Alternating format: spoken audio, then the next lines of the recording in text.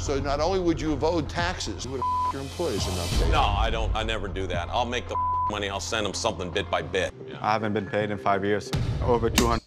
Five years! How did he survive this whole time?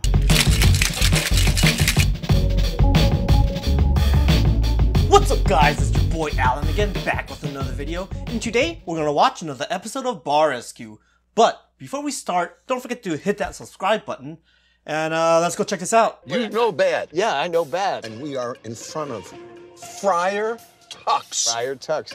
Look at the flags on the top of the peaks with the blue roofs. Why is there a castle? Is this a mini golf place or a sports bar? 32,000 cars a day drive this place. We're not going to pull them in with that kind of an exterior. Yeah, probably not my first choice. Can you guys stay out of my kitchen? So there's Ivan. He's the owner. He doesn't. So is he also the chef? Why does he say get out of my kitchen? He's not dressed like somebody who's about to cook. There's Sammy. Sammy's the manager. What can I get for you? There's Trista. She's a bartender.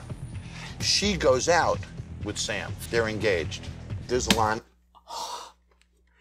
You have got to be kidding me. You have two employees that are engaged. One is a manager, one is a bartender. Isn't that a conflict of interests? You can't have a manager and. Oh, this can't be happening. I need the bartender.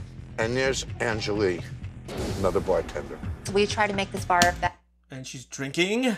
So obviously they drink as much as they want. So Angelique's just playing pool with customers. Oh my god, I thought that was a customer. You have an employee who's playing pool with a customer? I understand it's slow. When it's slow, there's other things you can do, like wipe down the bottles, clean up a mess. You gotta look for something to do, okay? You can't be playing pool with a customer. Get a chance talking to Angelise is playing pool. to drink in the middle of your shift. Really? Yeah, and uh, they just told the owner they have two managers. They know about it, but they're not doing anything about it. Yeah, in between my cooking, Sammy. I'll be right there. This is why you can't have a manager that's cooking. You gotta have a chef. Yes, there are chef owners of a lot of places, but you gotta have a manager on the floor that has some kind of authority, right? Did you check your stick? Sloppy. Did you point your stick? Sloppy, this pocket. Did you point your stick? Do you know how many balls are in this game? Not including the ones in your pants, guys.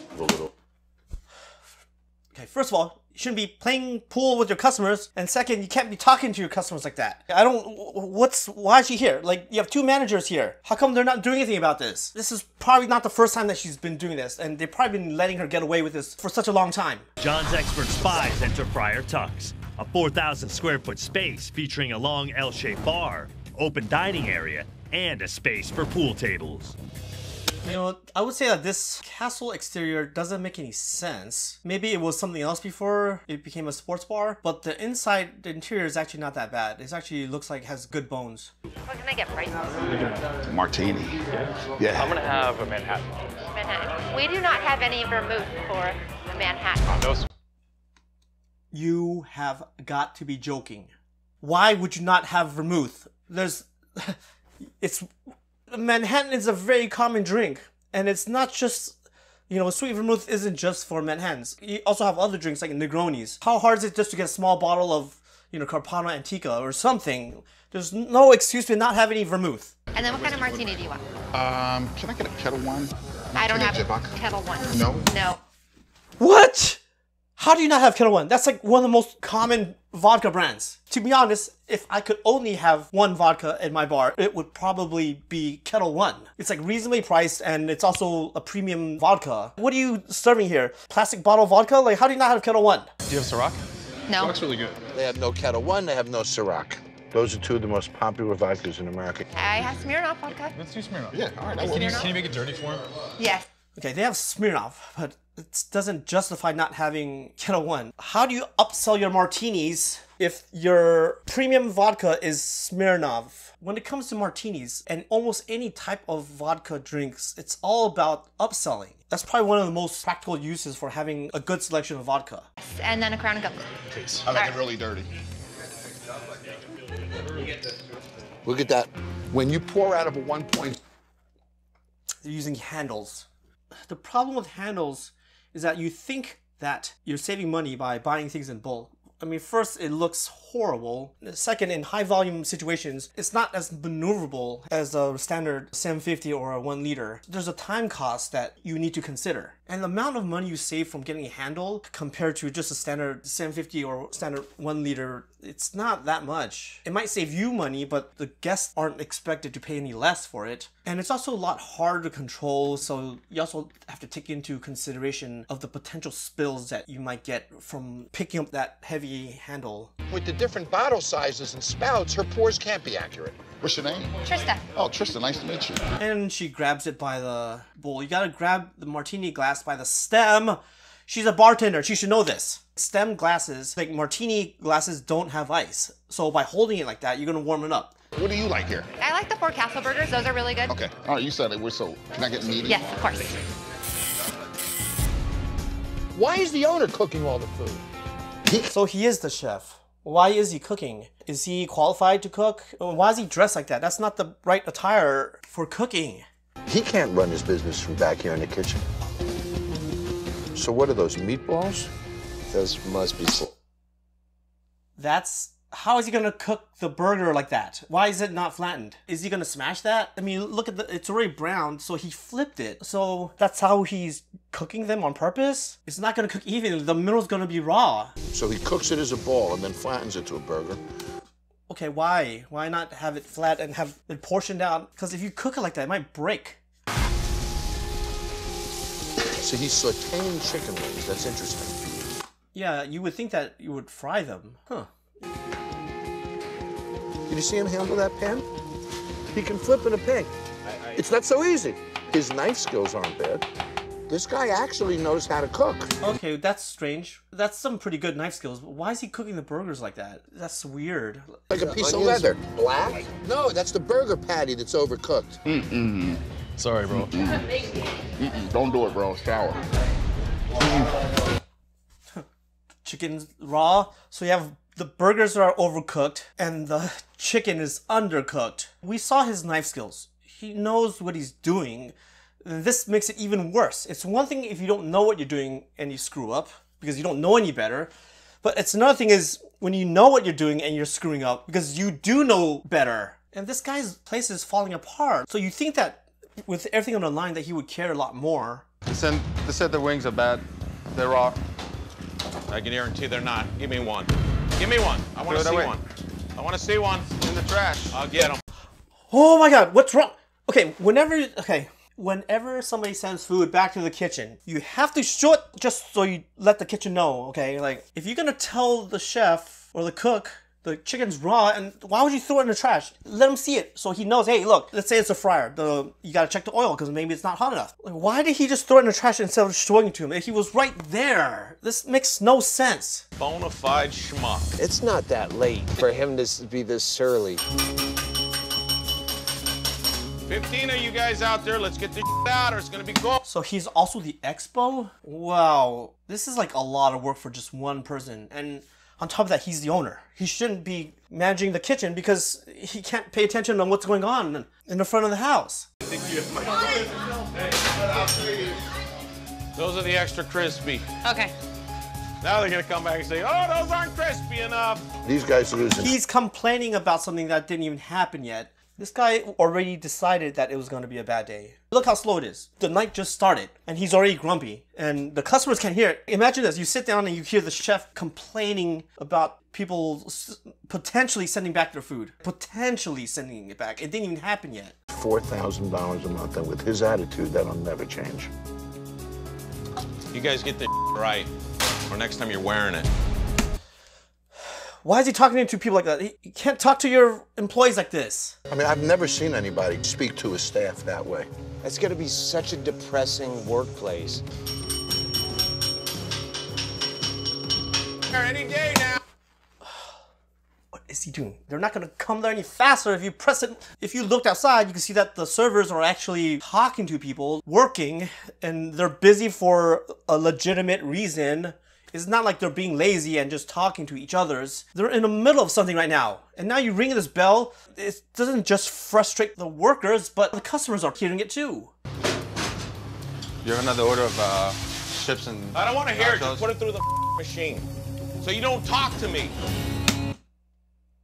He's talking to this not only with the servers, but also with the other manager. I'm surprised there's people who still work here. What's wrong with him? His name is Ivan, and he works here at Friar Tuck's. That's what's wrong with him. Ivan, I'm getting ready to send an order in right now. Yeah, well, that's nice. The kitchen's closed. Ivan said that he He just decided the kitchen's closed just because he's not having a good day. What the heck? He just gave up? It's bad. Sammy's just Sammy. He's fine. He's not fine because he's pissed off right now. That's something new. He's degrading everyone. Why? Why? What does this do? Like, why is he so grumpy? Oh my God, Sammy's bad. Who gives a? This guy's a idiot. You're an ass. I'm the only that's trying to keep everybody employed. Why is he so mad? You got two things that got sent back, rightfully so. You got the burger was cooked incorrectly, that got overcooked, and you got chicken that was raw. He was already mad before that food got sent back. What's his problem? Like, how could you disrespect your own coworkers like this? Ivan Vuich. Jon Taffer. Jon Taffer. Nice to meet you. Heard about you. Well, you're dressed for success, aren't you? That's Hold a on, guy let me who's. button up. Let me button up. How much money you lose this month? Yeah, like I said, that's not the right tire. And the fact that he wasn't buttoned up, that's a hazard. That can go over the flames or something. Probably a four to five grand. each. Four to five grand, and this is this is how you try. Um, this is how you fail. And how many times did you tell your employees to go themselves tonight? Uh, probably 150. He knows he's doing this. He knows he's mistreating his employees. Your bar is failing. You should be begging for their help, not try to make them quit. This is such a toxic work environment. They're not gonna feel bad for you if this place fails. Somebody comes in here, orders chicken. It was raw, correct, Sam? And the customer's in for sending it back. Yeah, something like that. Yeah. Everything is everybody else's fault, right? Whose fault is it really? His. Who's in charge of this place, girls? Ivan. I know, just like blaming everyone except for himself. Blames the customers for sending things back. Does he treat you with respect? Ivan. Ivan was the Yeah, but you're acting like it right now. What's wrong with this guy? He knows that he's disrespecting his staff. He knows that he's complaining about people sending back his food. Like he knows everything, but he doesn't admit that this is his fault. He's complaining about everything that's happened today and doesn't realize that or he doesn't admit that it's all his fault. This place is failing because of him. Yeah, but you're acting like it right now. leaving. Good luck, guys. Bye. Ivan. What a. Did he just walk out? Why did he cuss him out? He wasn't even yelling at him. He was just asking the employees, and that's their answers. It's not. Oh my god, this is insane. Good luck, guys. Bye. Ivan. What a. You are. You gotta be a like that. Ivan. Why would you do I'm a- Is this for real? The servers and bartenders are reprimanding the manager? I would have to give them credit. They are so calm and grounded through all of his yelling. I don't know if I can handle somebody yelling at me like that. Go talk to him. I'm not talking to nobody. Ask, ask him to come back and help Calm us. the down. No. Dude, it's your bar. It's, it's- you you're gonna let it fail just because you're an ego? Everyone is trying to help you. I'm like very surprised on how nice everyone is to him. He should be thankful that he has staff like this. Jon, we need your help. Ivan had the opportunity of a lifetime, and he just blew it. I'm at the breaking point. What's going on here? We got tax issues. We owe like 27,000 taxes. Ooh, ooh, ooh, ooh. So not only are they losing money, they still owe money that they don't even have. Wow, this is crazy. Like this owner, he just letting this ship sink. Restaurant business, didn't you? I've been in this business a long time, since I was probably 15. Uh, I love being in the kitchen. That's my passion. You chased me out of the parking lot last night. Okay, if you like to cook, cooking is really hard, okay? I'll admit that. You know, there's a quote, you know, if you can't handle the heat, you know, stay out of the kitchen. Just because somebody can cook doesn't mean they can cook in a kitchen, like a professional kitchen. Like, it's way different. I can cook pretty good food for myself, for my family, for my friends, but it's different when you're in the kitchen and, you know, the tickets are coming out. You gotta keep your cool, especially when you send out things like raw chicken, you could potentially get someone sick. Like these are things that you have to think about. Crying. Where were you? Uh, you upset me. You called me an like 500 times. You got up like. I have to be an in this. You gotta be grounded. You don't have to get emotional over small things. Like you're the leader, okay? You gotta act like the leader, not like some five-year-old kid throwing a fit. Would you want to go to a place that has this negative vibe and hang out and have a drink? No. Then why the f- would anyone else? Right. What are you doing? Treading water. But you're sinking Yeah, of your because own they're action. pulling me down. They're Oh my god, I can't believe he just said that. They're pulling him. He he's saying that about his own staff, the ones who begged him to apologize to Jon Taffer. You're really gonna blame your staff for all of this. Like I said before, they don't need to be here. Like they can leave, but they're only here to make sure that this place doesn't sink. They're watching out for your back, and he's treating them like this. It makes no sense. And it's not like yesterday where, you know, he was behind the kitchen and he got stressed out. Okay, right now he should be calmed down by now, and he still thinks the same way. So not only would you have owed taxes, you would have your employees enough. Dave. No, I don't. I never do that. I'll make the money. I'll send them something bit by bit. I've never done that. When was the last time you got paid? Um, it's a month behind. So not only is he disrespecting his workers, he not even paying them. That's the legal obligation that you have. I am surprised they haven't walked out by now. They're being mistreated, hostile work environment, and they're doing this without getting paid. And he thinks they're the ones that are dragging him down. I haven't been paid in five years. Over 250 weeks. Five years. How long has this place been opened? How did he survive this whole time without getting paid in five years? I can't even fathom that idea. I can't believe he's still here too. It's crazy. Counting up the weeks makes it a lot harder to take in because it seems a lot longer than five years. It's pretty sad that they don't get how much I've put in into this. I mean, we saw earlier he was crying, begging for help. He gave away five years of his life for this place, and he got nothing back in return except being insulted on a daily basis. Like, nobody deserves to be treated like this. This is not just a bar, it's home. I think all of us work our hardest. And if we wanted this place to fail, we would just. Wasn't she playing pool earlier? She was the only one uh, that's probably almost as bad as the owner. Like, everyone else is doing their jobs. just walk out. Shot in the middle of your shift. Everybody here is guilty of drinking on their shift. Really? That's a complete lie. You do shots. That was a one time deal, okay? Not one time deal, multiple. I know, we, we saw it on tape. How do you deny this? Last night you were playing pool with customers. What were you supposed to be doing? Working. So when she has a couple of drinks, what do you do as a manager? I should fire her. Why wouldn't you have fired her yesterday? He's the brick wall. He makes the final decision, not me. Yeah, I mean, this person's not working, drinking your booze. You're paying this person. Well, I mean, maybe not.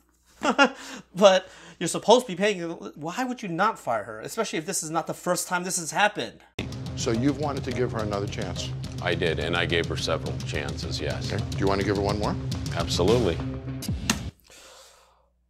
Really? So everyone, you're gonna blame every server for dragging you down, but the one server that isn't working and drinking on the job, you're gonna give one more chance. Are you kidding me? If there's one person that is dragging you down, that's her. Why would I want to put a bar in and give the keys to you? You come off like an idiot. I am. he's he's an idiot. He's blaming the bartenders who are actually working. He's blaming his his manager, insulting him every day. The one person who's drinking on the job, playing pool with the customers while on the clock. Why are you sympathizing with her and antagonizing everyone else? Like this makes no sense. I am the guy that has to take care of everything. I got too many responsibilities. And you're not the only one. I don't want to hear it. I want somebody to come to the plate and swing the damn bat for a while. You don't you you have a partner, you have a manager, you're going against what he's recommending. He's not doing this by himself. He has somebody who wants to help him, but he's not giving him the authority. I mean, he's actually taking it away. Where you going? Now you're gonna give up? If you were betting your future on it, would you bet that he changes himself or not? I would, because I think it could happen. I believe in Ivan. Oh my gosh, shut up. You're Of course you're gonna defend him because he's defending you. This has become like middle school, like people taking sides. Of all the employees' opinions, yours probably matter the least. You care the least. So the first cocktail I'm going to teach you to make today is this dirty vodka martini. One ounce olive brine, one and a half ounces of Smirnoff number 21 vodka. You want to make sure it's a He's really teaching them how to make a dirty martini. So you're telling me that these bartenders did not know how to make a dirty martini before? Who trained all these people? I know these girls were hardworking, but did nobody train them? good sound shake. This is the Smirnoff 21 Dirty Vodka Martini. All right, so stirring cocktails is a lot different than shaking cocktails. We're melting the ice, mixing the ingredients. So uh, earlier he shook the, the dirty martini. So martinis generally are stirred, but because of the olive brine, which some people consider a juice, and hence uh, you shake it. But if it was not a dirty martini, it would have been stirred. I don't know where you guys or who came up with the concept of the four little mini castles or whatever the hell that was, but that was a joke. You didn't flatten them out. You were pressing the burgers. I wa- I was pressing the smashing. You shouldn't have to do that. You do your pre-smash. I think what he was trying to do before was doing like a smash burger style, which he did incorrectly because you're supposed to smash it like almost as soon as it hits the grill, and the way that he did it was so strange. Like he kind of smashed it after flipping it and only browned the tops and bottoms. So that makes no sense, and I don't know why anyone would cook like that. How many lemon drops do you need? I'm gonna do one at a time. That is the grossest Manhattan I've seen. Olives on it? I need Are you serious? She put olives on a Manhattan. There's only two drinks today the dirty martini and a Manhattan. And the night just started. You seriously got those two drinks mixed up? You've never seen a Manhattan before? Oh, how come I got so many burgers over there? When I started the two, you jumped in and you made an extra two, that's all. You gotta communicate with each other who's working on what so you don't double make food items that now you have extra burgers that are going nowhere. And it's also, if you're gonna have more than one person in the kitchen, you gotta have stations. You can't be having two people work the same station. Otherwise, things like this will happen. Shaking. We're running at least over 10 minutes. Flip the thing around and shake it with the tin down. Having trouble so far. Come on, go, girls. Let's go. These bartenders have no experience. She doesn't even know how to put the tin on the glass. You can't just like push it in like that. You gotta hit it. So make sure that it's super tight. Otherwise, it might leak when you shake it. Ivan, they are freaking buried up front. You guys all right? How we doing? Wow, the why are they putting both managers in the back? Now you have the cook or chef has to come out and talk to the bartenders on what's going on. We just got all these incoming, Jon. He's looking at five burger, five wings, one burger, no tomato. I'm looking at that grill right now. Looks like you might be short a burger. And you need any? And earlier they had two extra burgers and now they're short a burger. Are they just randomly just throwing burgers? They need to work on their communication. I need three lemon drops, three martinis. Oh, I'm getting pulled in all direction right now. Am I helping them? Helping Sammy? No, do not help the bartenders. you're the cook. You gotta focus on the food. I've never. I know that you're a manager, but you can't leave the kitchen by itself. Yes, the bar needs help right now, but you still have food to cook. Like, we already saw that the burgers, the count is not correct. Tell me, where do you think you're best served right now? Let's get this food out and then I'll go back out there. Now, Right now, I'm seeing those burgers not patted out No, right. I'm, I'm on it. Why do they look like that? They should be portioned out as part of the prep.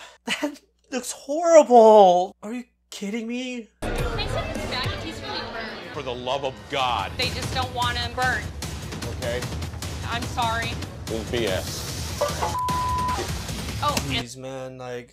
I- And I thought he was folding on the other night when it was slow. Now there's like actual customers ordering so much food. This is like way too much work for one person in the kitchen. I know that the other manager, Sammy, he was going back and forth. But once again, that also kind of creates confusion because now you have people throwing burger patties at the same time and you're double making tickets. I know that he's trying to help, but going back and forth between front of the house and the back of the house without any defined roles, it sometimes can make things worse. and the fries are too soggy. The fries are too soggy. You gotta give them that same consistent flavor all the time.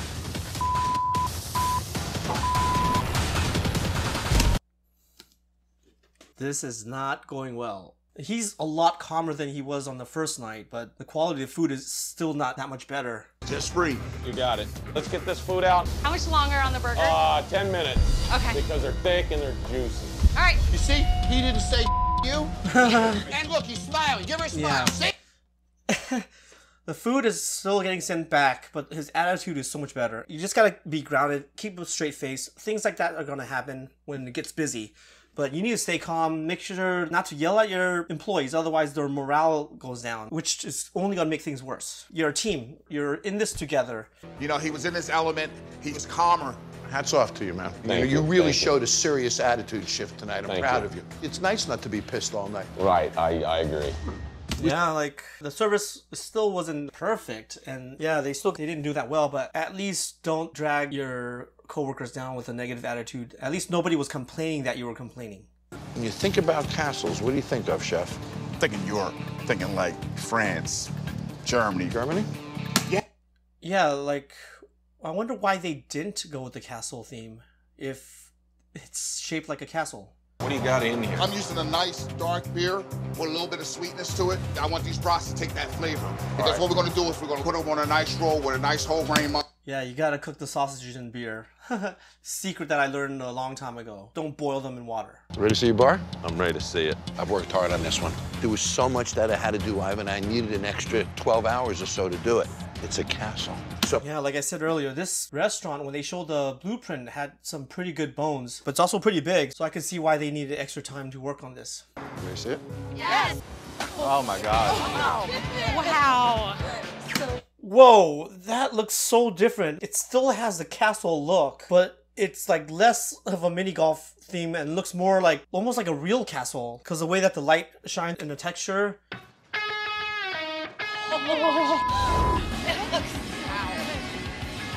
Oh my god, this looks so cool. I know the outside got improved a lot, but inside they actually went full medieval castle look now. I didn't change your bar top because it fit our concept. I got Baselight Corporation to provide all. That's cool that they just kept it the way it is. Earlier when they looked at it, there wasn't anything wrong with it. Hey, if you enjoyed that, don't forget to check out these other videos as well. And please leave on the comment section on what videos I should react to next. And if you haven't done so already, don't forget to like and subscribe and I'll see you guys on the next one.